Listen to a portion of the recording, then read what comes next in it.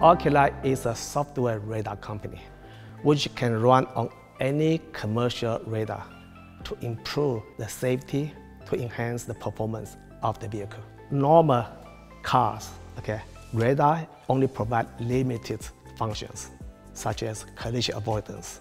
But if you want to put the radar into the high-end self-driving cars, the existing radar cannot deliver the performance people are looking for.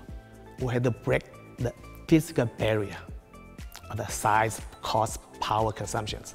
It provides high resolution, all weather, and you know, can be used in anywhere. That's why it becomes the first choice in the sensor choice.